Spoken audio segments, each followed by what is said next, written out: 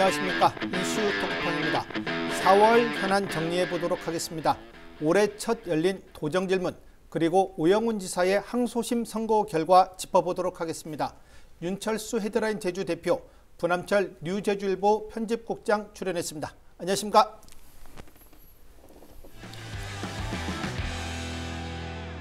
올해 첫 도정 질문이 열렸습니다. 제주도의회가 오영훈 지사를 출석시켜 주요 현안에 대한 입장을 물었습니다. 기존 정책의 의지를 다시 한번 재확인한 내용도 있었고 일부는 여건 변화에 따라 달라진 내용도 있었습니다. 현안별로 하나씩 짚어보도록 하겠습니다. 어, 지난 도정 질문에서 가장 많이 나온 현안 중 하나는 단연 행정체제 개편 네. 문제가 아닌가 싶은데 오영훈 지사의 확고한 의지를 좀 확인할 수 있었던 것 같습니다. 어떻게 보셨습니까? 예, 오영훈 지사는 행정체제 그 개편 어, 반드시 올해 안에는 그 주민 투표를 실시한다는 네. 그런 입장을 밝혔습니다. 좀 의지가 좀 확고하다고 좀 볼 수가 있습니다. 어, 제주도 같은 경우에는 어, 오 지사의 이런 입장에 그 발맞춰서 아마 상반기 중에는 주민 투표안을 마련하고 그다음에 하반기에 바로 행정안전부 장관에게 주민 투표 실시를 이렇게 건의한다는 계획입니다. 그래서 정부에서 이렇게 받아들인다면 연내에 어, 주민투표가 이렇게 진행되는데요. 물론 그 과정에 과제는 뭐 적지 않습니다. 네. 이것 때문에 이번 어, 도의회 도정 질문에서 많은 우려의 목소리가 좀 나왔던 게 사실이고요. 그 우려의 목소리들 보면 가장 많았던 게 바로 어, 정부 설득 과연 네. 가능하겠느냐 이 질문이 가장 많았고요. 그다음에 두 번째는 기초자치단체가 도입된다면 어, 보통교부세 그 제주도에는 그 3%를 좀 정액으로 이렇게 주고 있는데 네. 그3% 정도 하면 어, 작년 기준으로는 그 1조 9천억 원 정도 되는 액수입니다. 그래서 이거 어, 이 저기 보통교부세 3%의 그 적용이 어, 무산될 수도 있지 않냐 이렇게 이런 우려도 좀 어, 나왔습니다. 또 뭐 여기에다가 앞으로 좀 법률 개정의 문제, 그다음에 뭐 청사 이전의 문제, 뭐 기타 등등 아마 도의에서는 다양한 어, 어, 좀그좀 짚을 점검 사항들을 얘기하면서 좀 우려의 목소리도 좀 적지 않았던 게 사실입니다. 네. 뭐 그동안 지난해부터 계속해서 뭐 나오는 얘기지만 지사가 볼 때는 그동안에 그동안과는 다르게 이번엔 강력하게 의지를 표명했다라는 네. 부분에서 포인트가 있는 것 같고 어, 그 문제 중에 하나가 아까 윤 대표께서 말씀하신 부분과 함께 선거구제 어떤 선거를 치르게 했을 때 어떻게 네, 갈 것이냐 했을 때 자기가 생각하고 있는 중대 선거구제로 갈 것이다라고까지 밝혔다라는 건 가겠다 라는 의지를 명확히 했다고 보이는 거고 그 과정에서 이제 도정 질문 과정에서 제기됐던 여러 가지 문제들은 해결해 나가겠다. 그 이제 차근차근 해결해 나가겠다라는 뭐 그 뜻을 보였기 때문에 거기에 뭐 하나도 밀린 게 없어요. 의원들만 의원들 질의에 대해서 네. 전부 대, 답을 하면서 자기가 어떤 플랜을 갖고 있다를 보였기 때문에 의지는 확고하다 라고 말씀드릴 수 있겠습니다. 뭐 의원들이 뭐 질문 자체가 굉장히 좀 일반적 내용의 수준의 그 질문만 이렇게 던졌기 때문에 아마 논쟁은 없었던 걸로 좀 생각합니다. 저는 이렇게 좀 지켜보면서 네. 어, 도의원 분들이 정말 하고 싶은 말, 묻고 싶은 말은 안 물었지 않나 생각을 합니다. 그게 가장 중요한 게 도의원 정수 문제 아닙니까? 예. 자신의 지역구가 없어질 사- 없어질 수도 있는 상황인데 도지사에게 지금 현재 그 의원 정수가 45명인데 기초 단 아, 자치단체 또 기초 의회가 도입된다면 도- 광역 도의원은 그럼 정수를 그대로 유지할 생각입니까? 아니면 축소할 생각입니까? 최소 이런 질문을 음. 던질 줄 알았는데 던지는 의원 전혀 없었습니다. 다만 박호영 의원이 의회를 비롯한 도민들의 의견을 좀 적극적으로 좀 수렴해 나- 나가야 된다라는 이런 좀 역설적 촉구로 이렇게 질문을 가름했기 때문에 아, 큰 논쟁은 아마 없었지. 않나 이렇게 생각을 합니다. 네. 하여튼 뭐 문제는 뭐 주민 투표인 것 같습니다. 정부가 좀 주체적으로 나서 줘야 할 텐데 뭐 현재까지 분위기로 봐서는 뭐 이렇다 할 좋은 소식은 없는 것 같습니다. 2026년 7월 출범하기 위해서는 올 하반기에 뭐 어떻게든 뭐 주민 투표를 해야 할 텐데 어떻게 전망하십니까? 일단 아까 그 도의에서 제기했던 것처럼 정부 설득이 가장 중요합니다. 네. 어, 그래서 정부 설득 이 가능하느냐 안 하느냐가 최대 좀 변수고요. 네. 그다음에 두 번째는 어, 도민사회 합의가 과연 가능하냐 안 가능하냐. 그 도민사회 합의라고 한다면 기초자치단체 도입뿐만 아니라 세계 선거구로 재편하는 것에 대해서 정확하게 이렇게 도민사회 합의를 좀 하고 들어가야지. 그래야 정부가 설 저기 뭡니까 동의를 뭐 해주든 말든지 하는데 제주 사회에서부터 뭐 세계 뭐 재편안을 갖고 논란이 많다 한 경우에 할 경우에는 아마 정부도 뭐 이런 걸 핑계로 해서 주민 투표 실시 요구를 유보할 수도 있지 않을까 좀 생각을 합니다. 어, 또 하나는 어, 기초자치단체 도입에 대해서 묻는다면 어떻게 물을 것인지에 대한 그 도민사회의 그 이렇게 좀 하는 그 절차도 좀 필요하다고 네. 생각합니다. 지금 현재 뭐 용역 안에서는 기초자치단체에 대한 찬반을 묻는 것보다는 기초자치단체를 도입할 것이냐 아니면 현행체제 유지를 할 것이냐 이 두 가지를 놓고 물어야 주민 투표가 이렇게 실시될 경우에 참여율이 투표율이 더 높을 수 있다 하면서 아마 후자를 이렇게 제안했거든요. 어, 이런 문제가 좀 있습니다. 근데 요 최근에 그 정부의 행안부에서는 아직 공식적인 입장은 없었는데 특별자치 그 성과와 향후 과제 토론회가 아마 지난 4월 19일 날 이렇게 열렸던 걸로 알고 있는데 이때 행안부에서 어, 자치분권 국장이 이렇게 참석을 했는데 좀 다소 좀 부정적 시각을 이렇게 좀 내비친 걸로 알고 있습니다. 좀 보면 새로운 행정 체제로 어, 바꿔야 한다는 논리의 근거가 좀 보강돼야 될 게 아니냐. 이 얘기는 아직은 그 좀 행정 체제 개편을 할 그 명분과 논리가 부족하다. 어, 부족하다. 이걸로 좀 해석되기 때문에 앞으로 좀 이 부분에 대해서 좀 제주도정이 어떻게 좀 설득해 나갈지가 좀 주목되는 부분이라고 할 수 있겠습니다. 제주도정은 행안부를 설득하기 위해서 내세운 구호가 있지 않습니까? 도민들이 원하는 방향. 예. 그러니까 제주도민들은 원하고 있다. 예. 그래서 설득을 하겠다라고 하지만 그건 제주도의 말일 뿐이고 행안부가 과연 이것을 받아들이겠느냐라는 것은 논리적인 설득력을 가져야 되는데 논리적인 이- 지금 도민들이 원하는 방향 자체가 다 지금 정해져 있지 않기 때문에 이걸 갖고 올해 내에 주민 투표를 갈 수 있겠느냐라는 부분은 지금 현재 상황으로는 지극히 회의적입니다. 다만 하나 참 하나의 turning point가 될 수 있는 거는 국회가 바뀌고 있다. 예.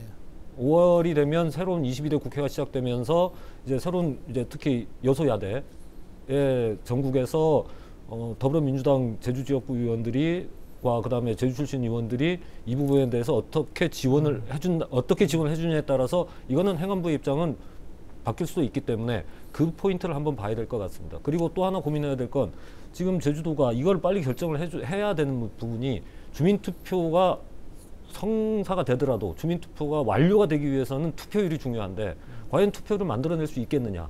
예전에 2005년에 행정구조 개편했을 때도 투표율이 여론조사에서는 82.8%가 나오는데 실제 투표율은 36.7%.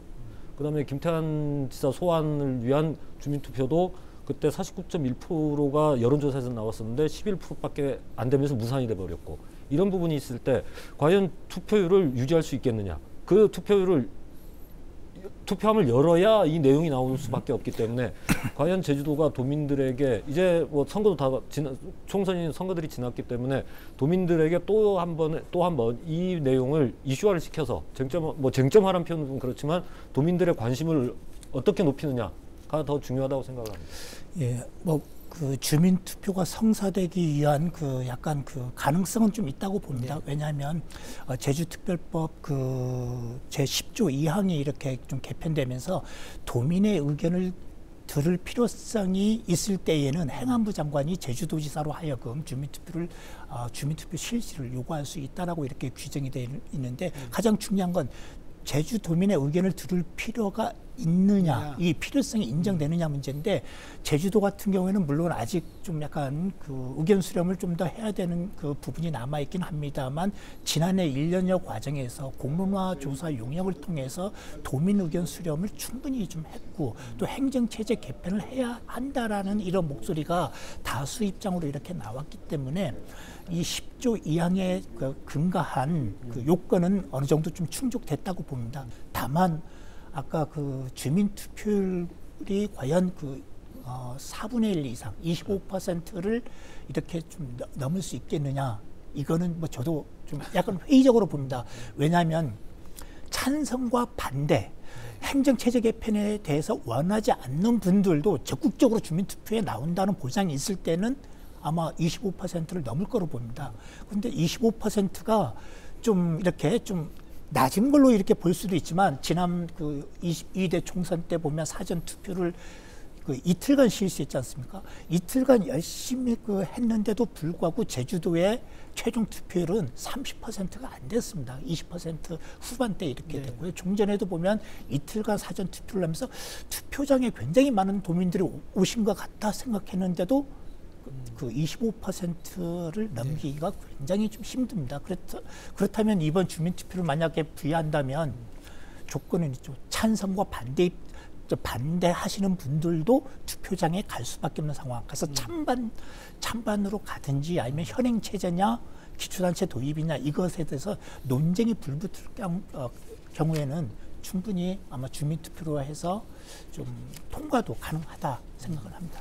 근데 그 과정에서 이제 오히려 주민들의 아까 윤 대표께서 말씀하신 반대 쪽 분들이 안 갈 수 있는 상황이 돼버리는 게 사무 배분 문제를 놓고 이제 지금 이 문제가 가장 큰 문제가 될 수 있는데 사무 배분 문제를 놓고 저, 제대로 해결하지 못한다면 총선은 정당 지지 이런 부분들이 있기 때문에 가지만 아, 이건 내가 안 가, 내가 안 가도 된다. 예. 투표 의지가 그렇게 높은 음, 투표가 될 수 없기 때문에 이 부분에서 도민들의 관심을 끌어올리고 도민들이 내 생활과 직결되고 그렇죠. 있다라는 부분을 인식할 수 있어야 되는데 과연 제주도가 이 부분을 이끌어갈 수 있겠느냐에 대해서는 지금까지 문제를 봤 지금까지 이렇게 온 과정을 봤을 때는 좀 부족하지 않느냐. 앞으로 이제 이 부- 진짜 행정체제 개편을 실시 개편을 하고 이거를 도입을 하겠다면 제주도가 이 부분에 대해서 더 많은 홍보와 또 어떠한 설득 작업을 펼쳐야 되지 않을까 그렇게 생각합니다. 참 갈 길이 좀 많은 것 같습니다. 이번 도정 질문에서 관심 가는 부분 중 하나가 또 환경 보전 분담금입니다. 뭐 최근 내국인 관광객 감소세를 감안해서인지 좀 달라진 입장을 좀 공개적으로 밝혔습니다. 필요는 하지만 시기상조다라는 입장입니다. 이 부분에 대해서는 뭐 일부 도의원들과 좀 의견을 좀 달리하고 있는 것 같은데 어떻게 보셨습니까? 뭐 대다수 의원들은 일단 뭐 오지사의 그 신중론에 뭐 동의하는 것으로 뭐 저는 이렇게 봤습니다. 다만 일부는 이번 질문한 의원들 보면 한 뭐 다섯 분 정도가 어, 이 질문을 했는데 송창권 의원, 예. 박호영 의원, 강경문 의원, 강상수 의원, 홍인숙 의원이 어, 질문을 했는데 이 중에서 송창권 창권, 의원만 유일하게 지금 신중하게 좌구우면할 게 아니라 바로 지금이 적기다. 바로 저기 이걸 도입해야 된다라는 이런 좀 강한 어, 어필을 했고요. 아마 나머지 분들은 아마 시기상조론에 대체적으로 동의한 게 아닌가 저는 뭐 그렇게 봤습니다. 아, 우영훈 지사 입장 같은 경우에는 지난 4월 기자간담회 때 밝혔던 내용하고 거의 뭐 대동소이합니다. 지금 관광 상황이 좋지 않다. 내국인 관광객도 감소세로 전환했다. 그래서 어, 지금 상황에서 도입하는 것은 좀 더 신중하게 검토해 볼 필요가 있다라는 게 한 가지 이유고요. 그다음에 두 번째는 우리가 국민적 동의를 받아야 되는 문제. 이두 어, 두 가지 문제를 이렇게 들면서 좀더 어, 검토하고 이렇게 그 결정하겠다고 했는데 제가 볼 때는 사실상 뭐 유보 입장 아니냐 이렇게 좀 보여집니다. 예. 예, 음, 도정 질문 과정에서 지사는 시기상조다라고 얘기를 했는데 이 부분과 관련해서 예, 현 도정 질문이 끝나고 각 상임위로 옮겨갔을 때도 또 한 번 이 내용들을 갖고 뭐 환경도시위원회 그다음에 행자 행정, 행자위원회에서 얘기가 나왔는데 의원들은 명, 입장을 명확하게 밝혀라. 어? 갈 거면 갈 거다. 유보면 유보다. 시기상조라는 부분이 과연 무슨 말이냐에 대해서 자꾸 이제 질문을 던졌고 거기에서 이제 지사는 아니지만 정무부지사가 답변을 하는 과정에서 이제 부지사는 보류나 중단이라는 표현은 맞지 않다. 시행 시기를 조절하는 것이다. 참뭐 어떻게 보면 정무부지사답게 정무적인 말을 이제 답변을 했습니다만은 이 부분이 아까 윤 대표께서도 말씀하셨지만 관광객 감 내국인 관광객 감소 때문에 이거를 유보하겠다. 그러면 이건 영원히 못할 수도 있습니다. 예. 그 부분에 대해서는 제주도가 논리적으로 좀 맞지 않는다고 생각을 하고요. 하나 근데 제가 오히려 걱정되는 건 국민적 동의를 얻어낼 수 있겠느냐. 오히려 이 부분에서 부담이 된다. 그래서 그, 그 부분 그런 내용 때문에 이제 국민적 동의를 얻기 위해서 뭐 국회 공청회라든지 여러 가지 공청회를 통해서 이 부분을 다시 한번 고민을 해보겠다라고 얘기를 하는 게 낫지 애매모호한 표현으로 시기가 적절하지 않다. 이걸 냉정히 다른 쪽으로 얘기를 하면 아 그러면 관광업계의 눈치를 보는 게 아니냐. 아, 뭐 관광업계가 나쁘다가 아니라 관광업계에서 큰 소리를 내니까 어, 한발 빼는. 왜냐하면 이게 10년 동안 지금 10년 동안 얘기가 되어 온 건데 그 사이에 가야 된다는 쪽으로 분위기는 다 흘러갔다가 갑자기 관광업계가 얘기 의견을 밝혀 나오니까 어 시기상조다. 그게 내국인 관광객의 이제 꺾임세 때문이다. 그러면 이 내용을 과연 누가 받아들이겠느냐? 그럼 환경 수용성 문제를 다시 고려해야 되고 그러면 그동안 했던 논의는 전부 다 도로아미타불 도로아미타불이 될 수도 있기 때문에 이 부분에 대해서는 제주도가 조금 더 구체적인 입장을 밝혔으면 좋겠다 생각을 하고 있습니다. 우리 뭐 기타 뭐 출연자께서 보시기에 뭐 이번 도정 질문에서 좀 관심 가는 부분 뭐 현안이 있다면 뭐 어떤 것들이 있을까요?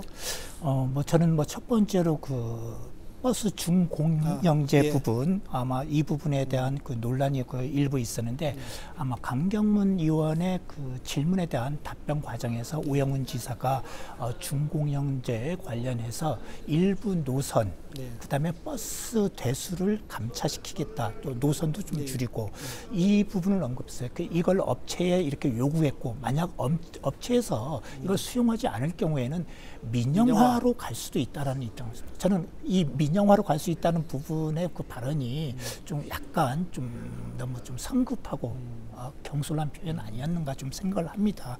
그래서 이, 어, 지금 현재 그 두 가지 차원에서 일단 그 논란의 여지를 그 던졌던 건 사실입니다. 일부 노선 폐지와 감차 같은 경우에는 즉 수익성이 좋은 노선 중심으로만 운영하겠다는 건데 사실 이것도 하나의 우리가 평등권의 문제로도 볼 수 있거든요. 작은 마을로도 저 버스가 다녀야 된다. 작은 마을의 지역의 주민들도 그 버스 편의에서는 소외받는 일이 없어야 된다라는 게 이 대원칙이 있거든요. 그러면 어느 노선을 줄일 것이냐 이런 문제가 제기되고 왜 버스 감차 얘기가 나오는지 이것에 대한 충분한 설명을 오영훈 지사가 하지 않고 이 부분을 탁 언급하니까 굉장히 오해의 여지가 많았습니다. 그래서 시민사회 단체에서도 이 부분에 대해서 비판 성명까지 이렇게 나오는 그런 그 일이 있었고요.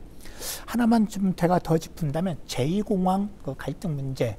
어, 그 이정엽 의원이 그 총선 당선인들이 어떤 그 당선인은 오자 협의체를 얘기했고 어떤 당선인은 저 원탁회를 구성했는데 이것에 대한 그 수용할 그 의향을 이렇게 물었는데 어, 일단 오지사의 답변은 환경 영향 평가 단계에서 제주도의 입장을 적극적으로 이렇게 검토하겠다라는 어, 종전의 입장을 다시 한번 밝히면서 다만 그 도의회와는 상설 협의체를 가동하겠다는 뜻을 그 분명히 했습니다. 그러면 아까 말한 그 오자 협의체나 그 원탁회는 원탁회. 언제 할 것이냐 이거는 차후에 환경 평가 단계에서 필요성이 있으면 이렇게 검토하겠다는 어, 방향으로 이렇게 좀 했고요.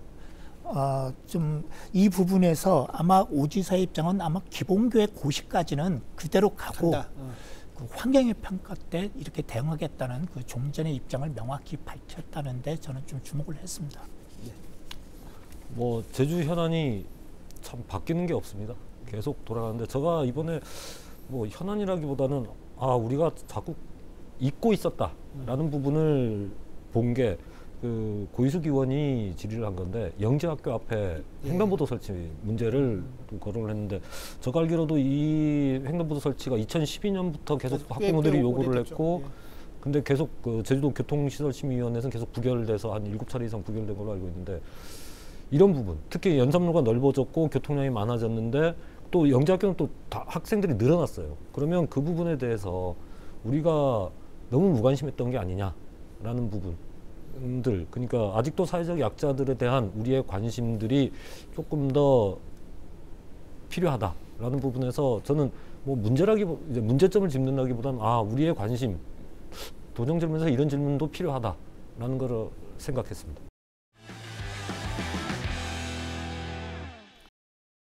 지난 국회의원 당선인 환영식에 공무원을 도입한 것과 관련해 수많은 의견들이 있습니다. 지사께서 마치 버선발로 나간 듯한 모습으로 포옹하며 같이 만세하는 장면은 선거 캠프에서나 벌어질 만한 일이 아니었나 생각합니다. 우리 교육감님께서는 저러한 자리를 만드실 생각은 없으신지 또 그다음 교육청 국회의원 당선자들 또 의회랑도 소통과 협업을 해야 되기 때문에 기회가 되면 우리 국회의원 당선자들하고도 만나서 뭐 제주 교육의 미래, 제주도의 미래를 논할 수 있는 자리가 있, 있으면 좋지 않겠습니까? 국회의원 당선인의 환영 행사를 놓고 논란이 엇갈리고 있습니다. 특히 국민의힘 쪽에서는 과도한 의전 아니냐라는 의견을 제시하고 있고 민주당 쪽에서는 뭐 앞서 보셨듯이 김광수 교육감에게 당선인 환영 행사를 만들 의향은 없는지를 묻는 내용이었습니다. 물론 이제 정민구 의원의 경우 이제 의전까지 포함된 내용은 모르겠지만 하여튼 일반 도민들도 엇갈린 시선을 보내고 있습니다. 두 분께서는 어떤 입장입니까? 예, 뭐 저는 뭐 이거는 뭐 그 정치적 뭐 성향에 따라서 그 뭐 비판하고 또 아니면 호응하고 뭐 이 차원은 아니라고 봅니다. 우리가 국민의 아, 눈, 눈높이 도민의 정서에서 이렇게 볼때 네. 어, 약간 그 좀 과한 면이 없잖아 있었다 음. 이렇게 생각을 합니다. 물론 도지사나 교육감이 당선인들을 이렇게 불러서 간담회를 갖는 거는 저는 꼭 필요하다고 네. 봅니다. 정민구 의원의 그그저 뭐냐 주장에 네. 저는 저기 동감은 합니다. 다만 이렇게 당선인을 불러서 이렇게 그 간담회 장으로 들어오기 그 과, 전 과정이, 과정이, 예. 과정이 좀 문제거든요. 간담회 장 내에서는 전혀 문제될 게 없었다고 네. 봅니다. 당선인들이 현관에 이렇게 들어서는 순간부터 공무원들이 1층 로비에서부터 2층, 3층까지 이 복도의 공무원들이 계속 어, 나와서 박수를 보내고 화, 어, 열렬한 환영 행사를 했다. 그 다음에 한 분이 당선인이 들어가면 그 다음 당선인이 올 때까지 또 기다렸다고 하고 이 과정이 한 20분간 소요됐다고 합니다. 그래서 이게 도민들이 보기에서는 좀 약간 지나쳤다는 얘기를 합니다. 물론 그 약간 환영도 어느 정도 필요는 한데 환영하더라도 도지사와 정무라인 정도만 1층에 가서 했으면 음. 굉장히 좀뭐 좋았지 않겠나 생각합니다. 네. 예. 아마 당선인들이 더 놀랬을 겁니다. 아니 놀란 게 아니라 유성곤 의원이 멘트가 있지 않습니까? 세 번째 국회의원이 됐는데 이런 경험은 처음이다. 아, 예.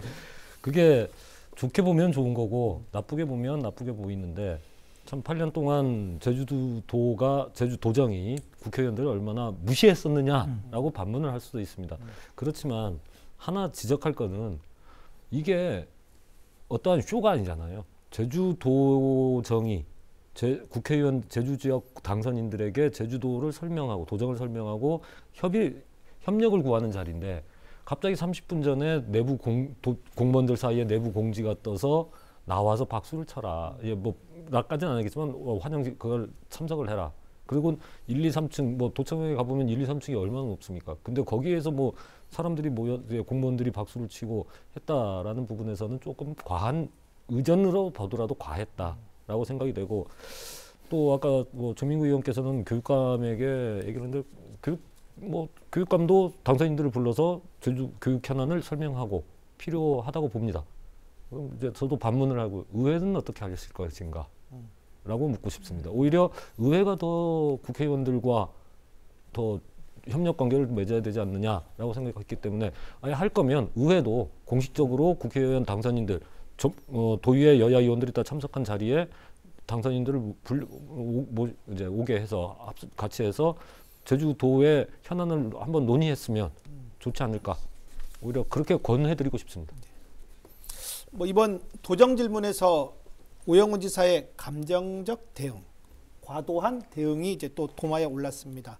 뭐 특히 한라산 케이블카를 묻는 국민의힘 강상수 의원, 청년 정책을 묻는 민주당 한권 의원의 다소 격앙된 모습을 보였습니다. 뭐 도정 질문 말미에 뭐 사과는 했지만 말들이 많습니다. 어떻게 보셨습니까? 어, 저는 뭐 강성수 의원과의 그 도정 질문, 질문과 답변 그 사이에 나타났던 그 언쟁 네. 이거는 조금 그 이해하기가 좀 어려웠습니다. 음. 뭐 물론 뭐 한권 의원과의 설전도 있었습니다만 네. 이거는 뭐 내용적으로 네, 네. 설전을 벌인 거기 때문에 그렇다 치더라도 강상수 의원의 그 질문 과정을 이렇게 모니터링 할 때 보면 좀 다소 그 오지사가 버럭하면서 좀 음.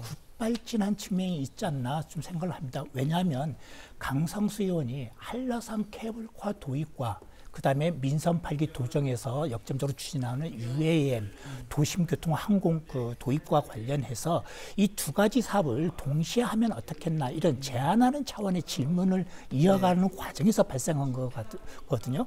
물론 오지사 입장에서는 답변할 시간을 안 줬기 때문에 좀 약간 좀 그랬다는 취지로 답변할 시간을 줘야 될 것 아닙니까? 라면서 저기 뭐냐 이렇게 좀 버럭하면서 화를 냈는데 이게 만약에 선거 기간에 뭐 후보자들이 주도권 토론을 하면서 뭐 제한된 시간 내에서 지금 시간이 촉박해서 하면은 충분히 이해가 될 만한 사입니다만 40분에 걸친 한 사람 의원 한 명당 40분에 걸친 그 질문의 시간이 있습니다.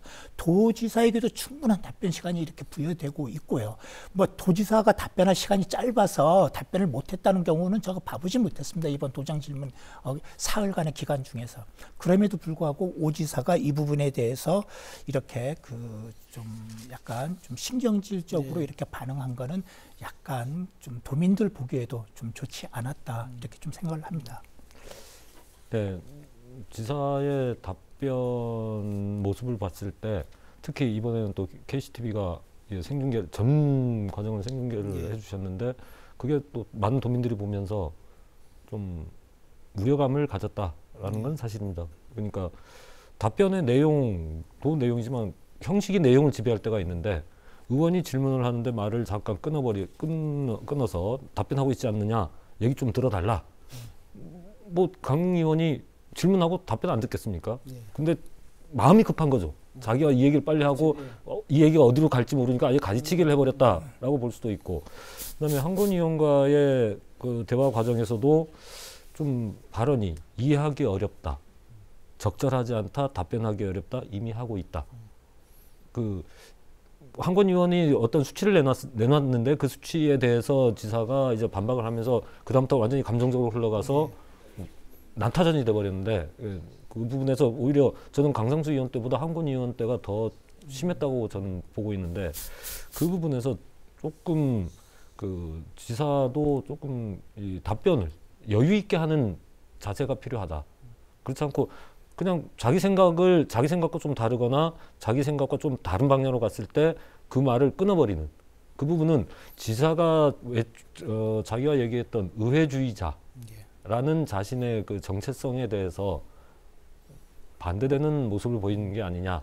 그러면서 오히려 집중되고 저는 오히려 케이블카 문제가 더 재미 이제 어떻게 보면 현안으로 더 갈 수도 있는 문제라고 봤거든요. 왜냐하면 지금 정부에서는 윤석열 대통령은 케이블카를 적극적으로 이제 허가를 해주는 상황으로 가 있을 때 제주도가 과연 이게 필요하냐라는 부분은 오히려 더 UAM의 필요성을 얘기하면, 서이 부분을 아예 이제 제주도에서는 거론 못하게 할 수 있는 그런 상황이 될 수도 있었음에도 불구하고 그런 감정적 논란으로 흘러가면서 아예 더 관심을 더 불러일으켜버린 그런 문제가 됐다고 생각을 하기 때문에 저는 뭐 그 내용들은 큰 문제, 내용에서 어떤 뭐 현기종 의원이 나중에 5분 발언을 통해서 뭐 지적을 했지만 지사가 그 뭐 사업을 하면서 어떠한 사업체의 이익을 위해서 그 사업을 추진하는 건 아니지 않겠습니까? 제주도의 이익을 위해서 추진을 하고 있겠지만 그거를 도의원들한테 이해를 설득 이해를 시키고 설득을 시키고 협력을 얻어야 도민들에게도 그 영향력이 갈 수 있기 때문에 의회도 의장 아 저 지사도 답변을 할 때 조금 더 그런 부분을 여유 있게 조금 천천히 답변을 하는 그런 부분이 필요하다고 생각을 합니다. 제가 뭐 그 내용적으로 한번 정리를 해본다면 감성수 의원과의 그 질문 과정에서는 UAM과 케이블카에 동시에 추진하는 게그 네.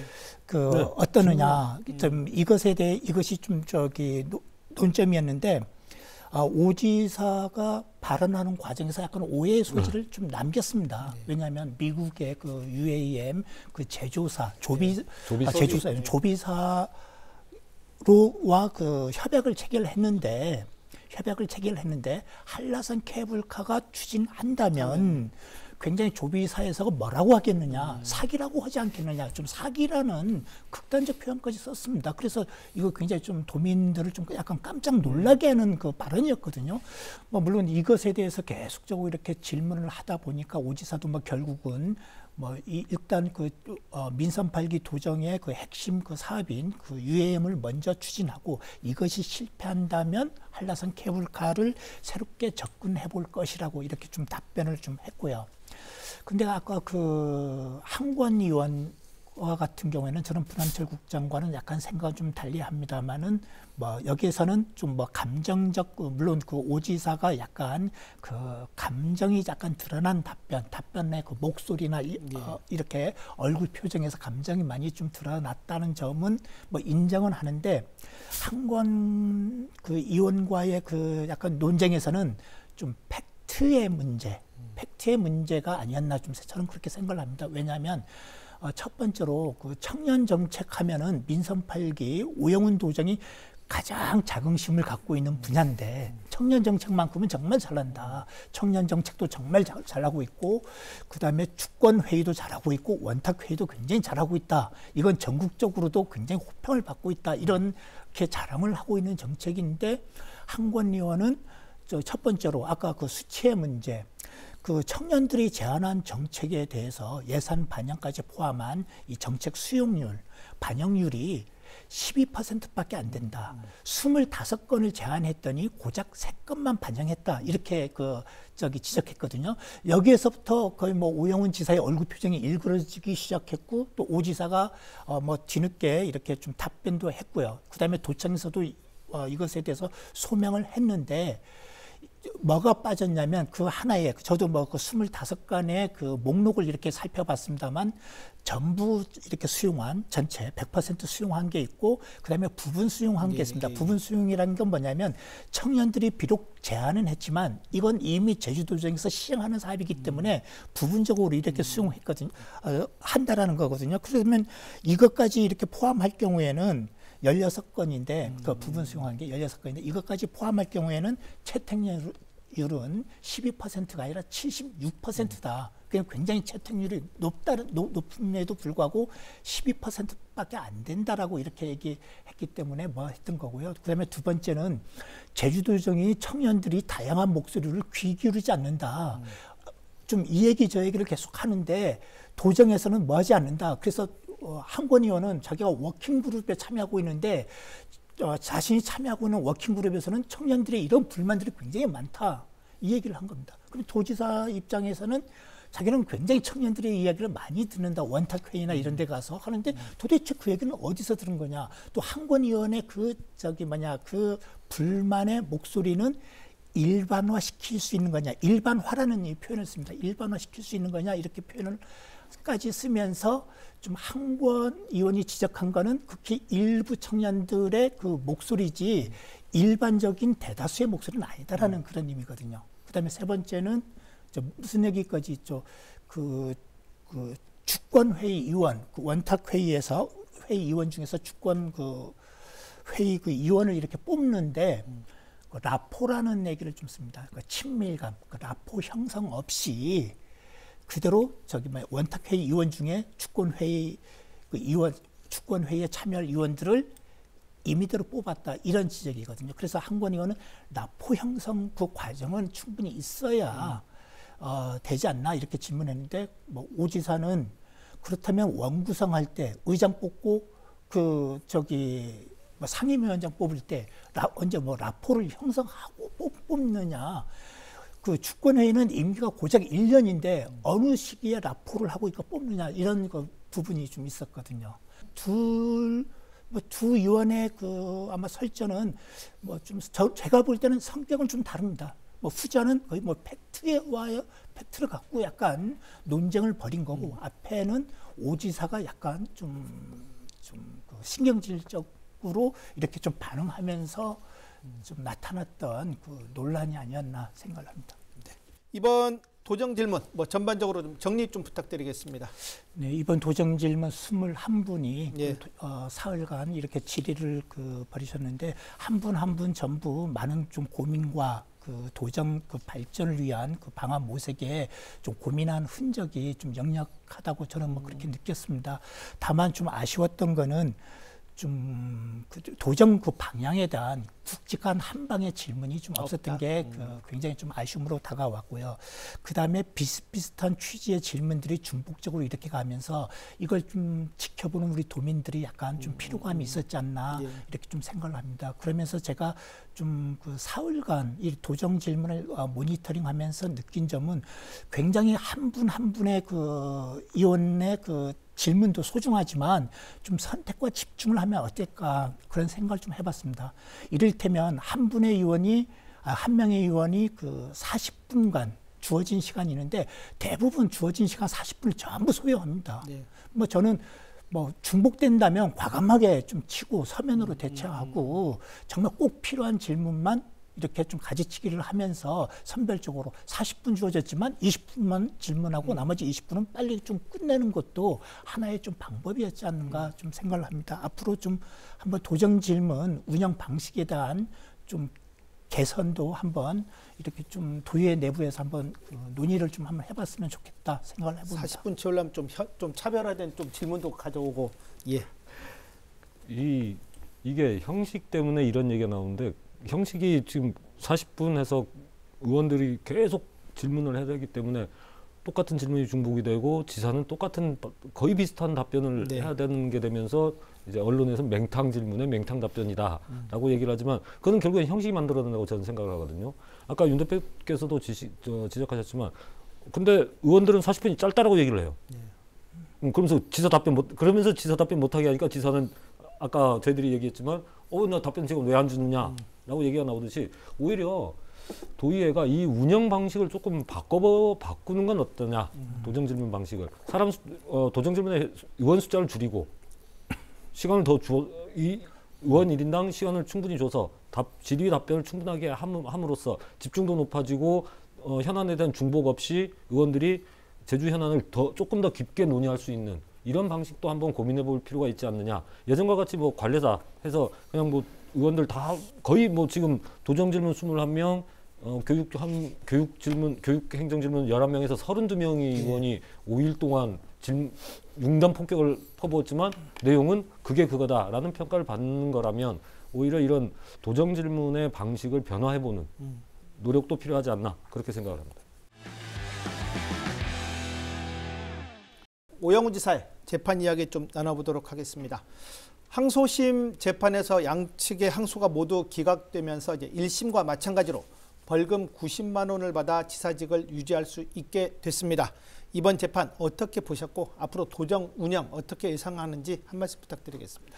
예, 항소심의 그 뭐 선고 결과는 어느 정도 뭐 예측됐던 결과입니다. 네. 왜냐하면 어, 3월에 열렸던 그 1차 공판에서 뭐 저희들은 그 항소심 과정에서도 추가적인 법정 공방이 네. 있지 않겠나 이렇게 예상을 했는데 그런 예상을 전혀 깨고 바로 첫 바로 공판에서 결심 공판을 결심까지. 예. 진행했거든요. 여기에서 검찰 구형이 바로 이루어졌고 마지막 최후 진술까지 다 끝나게 되는 상황. 그러면서 재판도 바로 결심 공판하고 이번에 바로 선고로 네. 왔기 때문에 추가적인 다툼이 없었, 없었, 없었습니다. 그래서 1심에서 나왔던 그 결과 그대로 그 준용되지 않을까 생각했는데 아닌 게 아니라 전부 그 항소심에서는 검찰 측과 변호사 측의 그 항소를 모두 기각하고 오영훈 지사에게는 벌금 90만 원, 그당 도지사 측은 그대로 좀 유지하는 아주 좀 오지사 입장에서는 어, 좀 약간의 뭐 불만이 있을 수 네. 있지만 뭐 최선의 뭐 결과를 뭐 얻었다 이렇게 좀 볼 수 있고요. 다만 어, 공직의 공직 라인에 계신 그 두 분의 같은 그 이번에 법 어, 기소된 그뭐 뭐그 본부장과 네. 그다음에 도지사 특보 이 두 분에게는 좀 공무원직 상실형의 그 벌금형이 어, 그대로 또 유지됐다 어, 되면서 약간 좀 대조를 좀 보였습니다. 일단 이번 재판에서는 뭐 쟁점이 어, 그 공식 선거 운동 바로 시작 전에 이루어진 그 상장 기업 관련 업무 협약식 이걸 이게 위법인지 아닌지 그리고 경선 과정에서 이루어진 지지 선언 이게 위법인지 아닌지가 최대 쟁점이었고요. 그다음에 이게 위법으로 판단된다면 오지사의 관여 정도는 어느 정도로 볼 것이냐 이게 주목됐거든요. 근데 법원은 어, 1심과 항소심 모두 이 두 가지는 전부 위법으로 봅니다. 저기 어, 상장 어, 기업 업무 협약식도 어, 위법이고 그다음에 거기서 사전 선거 운동을 했다라는 거죠. 네. 그다음에 지지 선언도 위법으로 봅니다. 어, 경선 선거 운동 방식에 그 문제가 있었다라는 걸 이렇게 지적한 건데 다만 오 지사는 지지 선언과는 관여도가 네. 없다고 이렇게 무죄로 이렇게 보고 상장 기업 관련 부분만 해서 벌금 90만 원 받고요. 어, 대신에 그 뭐 도지사 특보나 그 본부장 그 두 분 같은 경우에는 둘 다 관여를 한 것으로 이렇게 좀 보면서 좀 벌금 그 액수가 좀 높게 나왔습니다. 어쨌든 뭐 결론적으로 오지사 입장에서는 그동안 받아온 사법 리스크 이번 항소심을 끝으로 해서 아마 전부 털어낼 수 있지 않겠나 좀 생각을 합니다. 아직 뭐 완전히 끝난 건 아닙니다만 아, 그래도 어, 이제는 좀 벗어나고 안심하고 이제는 그 민선 8기 도정 후반기 업무에 좀 집중할 수 있게 됐다. 이런 점에서 저는 의미를 갖습니다. 네. 뭐 대법원 판결이 남아 있긴 하지만 뭐 지금 1심과 2심에서 똑같은 형을 받았고 이게 대법원에 가서는 유무죄를 판단한 거기 때문에 크게 뒤바뀌진 않을 거라 보기 때문에 오지사가 가졌던 사법 리스크는 완전히 해소됐다라고 네. 생각이 됩니다. 그동안 오지사가 각종 이제 도정을 추진하거나 어떠한 현안에 대처할 때 정치적으로 오지사의 발목을 잡았던 사법 리스크가 해결됨으로써 지사가 이제 민선 8기 3년차 이후에 어, 제주 도정을 집행해 나간 데는 큰 탄력을 받을 거라고 생각이 되, 됩니다. 그렇지만 하나 이제 오지사가 이제 무죄를 주장하고 있다. 예. 라는 부분에서는 꼭 자기만의 무죄가 아니라 그 아까 윤 대표께서도 말씀하셨던 그 두 분의 공직에 계신 그분들의 까지도 고려한 부분이 아닌가라고 생각이 되고 또 이 여기에서 또 무죄를 받아야 다, 앞으로 다가올 선거에서 자신의 이제 어떤 정치적 인 타격을 줄일 수 있기 때문에 그 무죄를 뭐 주장한다고 주장하면서 항고를 한 거지만 어, 사법 리스크가 해결됐고 제주도정은 이제 급 급속하게 탄력을 받을 것이다 그렇게 생각하고 있습니다. 토론회 마무리하도록 하겠습니다. 정리 발언 부탁드리겠습니다.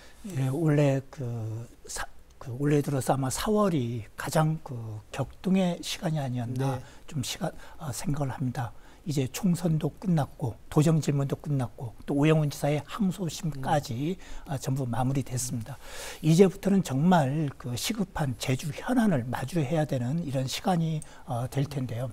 지금 그 제주도에는 좀 중요한 문제가 어, 행정처제 그 개편에 따른 그 주민 투표 준비를 해야 되는 문제도 있지만 어, 더 시급한 사안은 바로 에이펙입니다. 어, 에이펙 정상회의 그 개최지 선정이 오는 6월 예정돼 있는데 도민의 그 진짜 그 단결된 모습, 결집된 역량을 보여줘야 될 어, 시기가 아닌가 생각을 합니다. 그렇기에 제주 도정의 역할, 도의의 역할, 그리고 국회의원 어, 당선인들의 역할이 어, 매우 막중하다고 하겠습니다. 네, 그 오늘 저희들이 많은 현안을 짚었고 그 현안이 끊어지는 게 아니라 계속 이어져 오는 건데 이제 지사가 앞에서도 말씀드렸지만 사법 리스크를 털어냈고 그렇기 때문에 이제 민선 8기 3년 차는 이제 탄력을 받아야 되는데 이제 그동안 지사가 얘기했던 민간 우주 산업 육성 그다음에 그린 수소 글로벌 허브 구축 에너지 대전환 뭐 UAM을 포함해서 이런 부분에 대해서 이제 실질적인 성과를 보여줘야 된다. 이제 그 부분이 부담이 될 수도 있겠지만 오히려 지난 29일에 한화 우주센터가 기공식을 가졌듯이 하나하나 이제 이루어지고 있는 부분에 대해서 제주 도민들에게 많은 설명을 하고 또 도민들의 공감대를 얻는다면 어, 민선 8기 3년 차는 좀 원활하게 가지 않을까 생각을 하고 있습니다. 그런 의미에서 어, 오지사 그 다음에 공무원들이 많은 힘을 내줬으면 하는 바람입니다. 네, 오늘 오랜 시간 감사합니다. 제주특별자치도가 최근 내년 에이펙 정상회의 유치에 따른 신청서를 제출했습니다. 아시아 태평양 지역 21개국 정상과 강요 등 6천여 명이 모이는 초대형 국제 행사로 제주에 유치될 경우 상당한 파급 효과가 예상되고 있습니다. 20년 만에 재도전, 제주도민 모두의 역량을 모아야 하겠습니다. 오늘 순서 여기서 마치겠습니다. 감사합니다.